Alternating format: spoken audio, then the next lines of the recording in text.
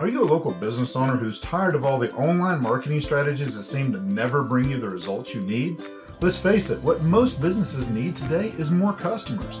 The question is, how do you find them and get your message in front of them? How would you like to legally steal customers from your competition? That's right. Imagine a customer visits your competitor's place of business, and while they're there, they start seeing ads for your business all over their smartphone.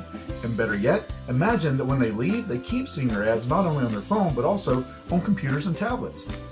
I know, I know, this sounds kind of like voodoo, but it all happens instantly whenever your prospects enter any designated address that you choose, which conveniently should be your competitors.